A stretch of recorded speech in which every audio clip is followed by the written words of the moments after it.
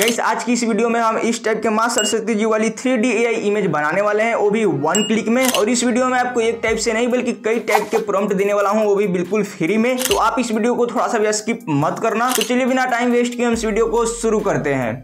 Gas इस image को बनाने के लिए सबसे पहले आपको क्रोम को ओपन करना है और यहाँ पे आपको सर्च करना है बिंग इमेज क्रिएटर जैसे आप यहाँ पे बिंग इमेज क्रिएटर सर्च करोगे, आपके सामने एक नंबर पे वेबसाइट आएगा। सिंपली आपको इस पे क्लिक करना है और जैसे आप इस पे क्लिक करोगे, आपके सामने कुछ इस प्रकार से इसका इंटरफेस आएगा और यहाँ पे आप देख सकते हो, यहाँ पे इमेज का प्रॉम्प्ट लिखने का यहाँ पे ऑप्शन है। तो यहाँ पे आप मेनुअली भी इमेज का प्रॉम्प्ट टाइप कर सकते हो बट आपको यहाँ पे मैनुअली प्रॉम्प्ट को टाइप नहीं करना है। सबसे पहले आपको जाना है मेरे टेलीग्राम चैनल पे और मेरे टेलीग्राम चैनल का लिंक आपको मिल जाएगा इस वीडियो के डिस्क्रिप्शन में। तो वहाँ से क्लिक करके आपको मेरे टेलीग्राम चैनल को ज्वाइन कर लेना है और आपको मेरे टेलीग्राम चैनल पे जिस जिस टाइप के माँ सरस्वती जी वाली इमेज मिलेगा जस्ट उस इमेज के नीचे आपको उस इमेज का प्रॉम्प्ट मिल जाएगा। सिंपली आपको वहाँ से उसे कॉपी करना है, उसके बाद यहाँ पे आपको पेस्ट कर देना है। अब गई यहाँ पे आपको एक चेंजेस करना है। जैसे की यहाँ पे आप देख सकते हो, मैंने अपना नाम यहाँ पे टाइप किया है, इसे आपको यहाँ पे रिमूव कर देना है और आपको अपना नाम यहाँ पे टाइप कर देना है। अब जिस भी प्रॉम्प्ट को आप वहाँ से कॉपी कर रहे हो और यहाँ पे पेस्ट कर रहे हो, उन सभी प्रॉम्प्ट में आपको यहाँ पे चेंजेस कर लेने हैं। उसके बाद आपको सिंपली यहाँ पे क्रिएट पे क्लिक करना है और जैसे आप क्रिएट पे क्लिक करोगे, यहाँ पे आपके सामने शो करेगा क्रिएटिंग और आपका यहाँ पे थोड़ा सा समय लगेगा और आपके सामने यहाँ पे फोर इमेज शो हो जाएगा। आप देख सकते हो यहाँ पे फोर इमेज शो हो गया है। अब इसमें से आपको जो भी इमेज पसंद है, सिंपली आपको उस पर क्लिक करना है और जैसे आप इमेज पे क्लिक करते हो, नीचे की तरफ़ आपको एक ऑप्शन मिल जाता है थ्री डॉट का। इस पे आपको क्लिक करना है और डाउनलोड ऑप्शन पे क्लिक कर देना है और यह इमेज आपके गैलरी में सेव हो जाएगा। यहाँ पे आप देख सकते हो, इस इमेज में मेरा यहाँ पे नाम भी टाइप हुआ है। तो इस प्रकार से आपका भी यहाँ पे नाम टाइप हो जाएगा अब यहाँ से आपको चारों इमेज को सेव करना है तो फिर आपको यहाँ पे दूसरे इमेज पे क्लिक करना है और उसे भी आपको यहाँ पे सेव कर लेना है अब यहाँ पे जो आप प्रॉम्प्ट टाइप किए हो और आपके सामने यहाँ पे जो इमेज शो हुआ है उसमें से आपको कोई भी इमेज पसंद नहीं है या फिर आप उसी टाइप्स के और भी इमेज बनाना चाहते हो तो फिर आपको यहाँ पे क्रिएट पे क्लिक करना है और जैसे आप फिर से क्रिएट पे क्लिक करोगे आपके सामने यहाँ पे फिर क्रिएटिंग लिखेगा और आपका यहाँ पे थोड़ा सा फिर से समय लगेगा और आपके सामने फिर से यहाँ पे चार इमेज शो हो जाएगा आप देख सकते हो यहाँ पे इमेज शो हो गया है। तो इस प्रकार से आप काफ़ी आसानी से इस ट्रेंडिंग इमेज को बना सकते हो वन क्लिक में। तो गई वीडियो आपको कैसी लगी? अगर अच्छी लगी तो इस वीडियो को लाइक कीजिए शेयर कीजिए और कमेंट कीजिए। ऐसे वीडियो टूटोरियल देखने के लिए इस चैनल को सब्सक्राइब कर लीजिए। तो आज के लिए बस इतना ही। मिलते हैं नेक्स्ट वीडियो में।